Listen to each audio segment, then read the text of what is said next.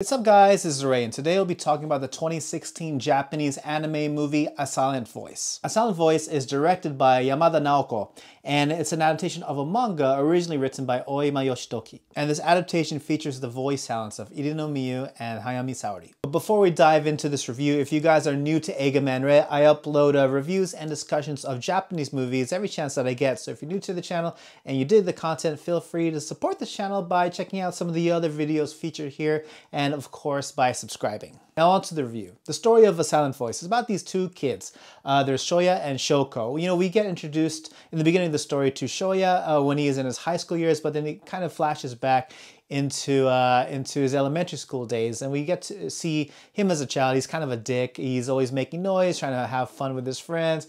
And here comes Shoko. She's a transferee. Uh, she's introducing herself to the class and reveals to everyone that she is deaf but she tries really hard to you know make friends to communicate and just overall just be be as friendly as she can be despite her handicap. And here's shoya who thinks that you know there's something wrong with her and ends up becoming her bully. And shoya's bullying is pretty harsh and he's pretty persistent with his bullying and uh, in the end, things don't work out. Uh, basically, his uh, Shoya's friends turn against him. Shoko transfers. So uh, pretty much after this confrontation, Shoya pretty much is an outcast on his own. He kind of uh, the tables get turned on him. So now that he's in high school, Shoya is a social reject of sorts. Uh, but then by chance, as he's trying to return uh, some belongings of Shoko, he meets her again, and they kind of start this kind of new friendship, if you will. You know, with Shoya being kind of the way he is right now, especially because of experience and, of course, trauma uh, during his elementary school days, he's kind of changed. He's not as uh, loud and you know friendly I guess as he was. He's kind of like introverted. Uh, he can't look people in the eye so whenever he's out and about you he doesn't really look up. He always keeps his eyes down. But then this is pretty much the start of Shoya's journey if you will into just bringing himself back. But I don't want to get too much into it because I will definitely tell much more than I would want to say. So when it comes to the positives of a silent voice, this uh, just basically everything about the story, um, from the way you know how relatable the characters are, and you know even though some of the examples of bullying are pretty extreme, like they're not completely different than real life instances of bullying. And that's where a lot of the the earlier parts of parts of the story are a bit harder to watch is because you see this stuff happen to Shoko you feel bad for Shoko you feel anger towards Shoya and it's it's definitely uncomfortable to watch. But then as the story goes along, you really get to sympathize with Shoya. You feel sorry for him as much as you do with Shoko.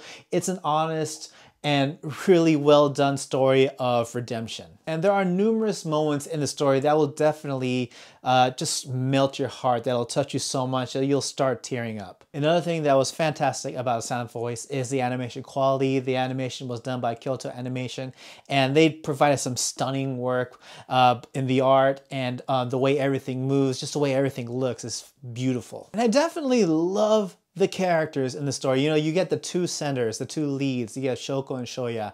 And I think uh, they both go through their own respective story arcs and they're they're just absolutely lovable. I think you just can't help but, you know, but connect with these two characters. And, you know, if, if any of you guys have ever been through any kind of emotional traumatic experiences in the past, and I think it's it's very easy to uh, to connect with either of these characters with either Shoya or Shoko as, you know, they try to learn from their past mistakes and, you know, just be better humans. more Shoya than Shoko in that. But you really get to like the characters, you really get to like the supporting cast, a lot of which uh, uh, are, you know, they're all high school students, but some of these characters uh, are with Shoya from their elementary school days and see the way uh, his relationships evolve, you know, through ups and downs with every single one of these characters. It's, uh, it's really endearing. It's it's a wonderful story to see. So this movie has it all. It has the characters, it has the animation quality, it has a story that hits you really hard when it needs to, and it has the kind of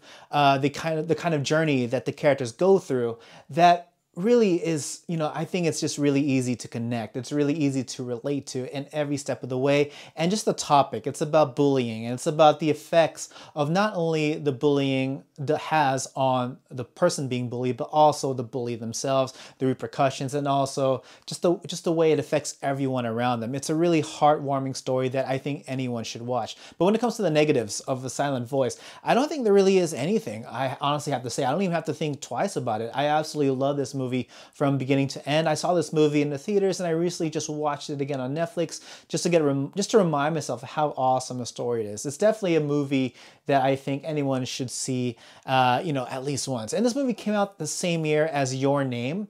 And I think when Your Name came out, that movie definitely got so much more hype, so much more overshadowed. And, you know, even me, you know, I watched both of those movies in the theaters. And at the time, I honestly liked uh, Your Name a bit better than A Silent Voice. But then watching again years later, A Silent Voice just holds up. It's one of those stories that I think you can watch at any, any year, at any point in your life, and it'll just get you no matter what. Just don't watch this movie expecting a light-hearted story. This movie does cut deep with its emotional themes. You know, as as uh, I said earlier, the main th the central theme of the story is bullying, but it even goes into much more than that. You know, you dive into themes regarding social anxiety to even suicide. This movie doesn't hold back, and it's very uh, honest with its characters, with its themes, and but at the same time, it does have kind of a, a, a, hopeful outlook on the whole theme, the way everything just kind of flows, the way the, the story is told.